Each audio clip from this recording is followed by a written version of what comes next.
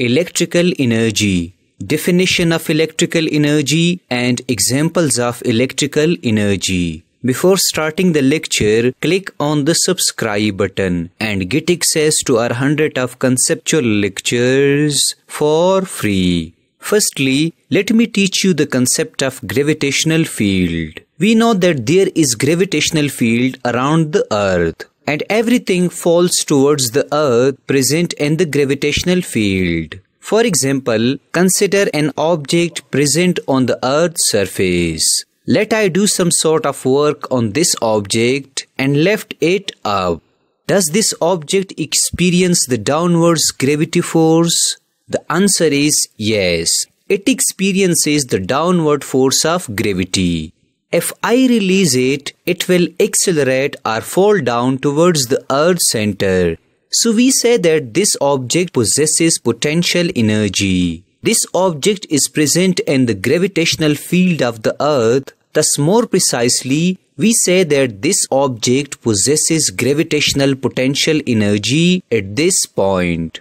When this object falls down, its gravitational potential energy is converted to kinetic energy. Thus, from this example, we learn that if we do some sort of work on an object in gravitational field, gravitational potential energy is stored in that particular object. Now let me teach you about electric field. Consider two charges, positive and negative. According to Michael Faraday, there is electric field around positive charge and there is also electric field around negative charge. We know that like charges repel and unlike charges attract. Here, let's consider a big negative charge. We know that there is electric field around this negative charge.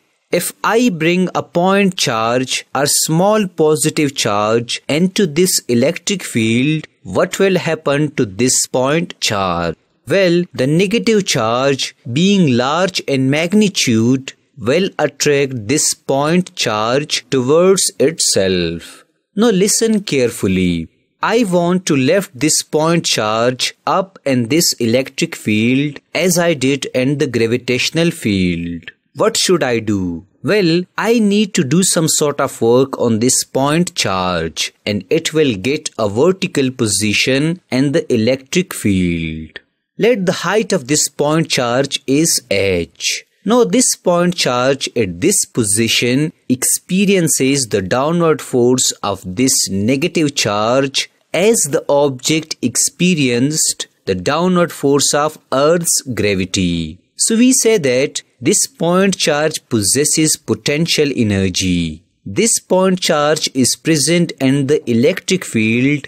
Thus, more precisely, we say that this point charge possesses electric potential energy. If I release this point charge, it will accelerate towards negative charge and its electric potential energy is converted to kinetic energy. From this example, we learn that this point charge possesses electric potential energy and kinetic energy. Let me repeat it. This point charge possesses electric potential energy and kinetic energy. And this is also called electrical energy. Therefore, we define electrical energy as the stored potential energy and kinetic energy in a charged particle is called electrical energy. Let me repeat it. The stored potential energy and kinetic energy in a charged particle is called electrical energy.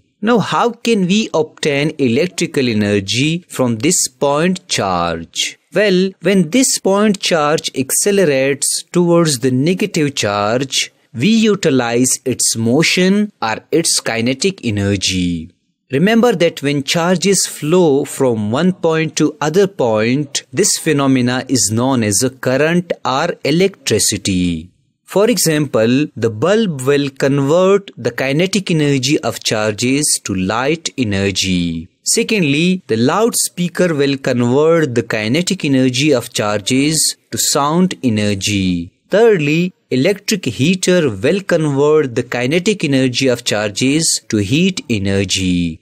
Thus, we therefore say that electrical energy is the stored potential energy and kinetic energy in a charged particle, which we can convert into other forms of energy. This was all about electrical energy.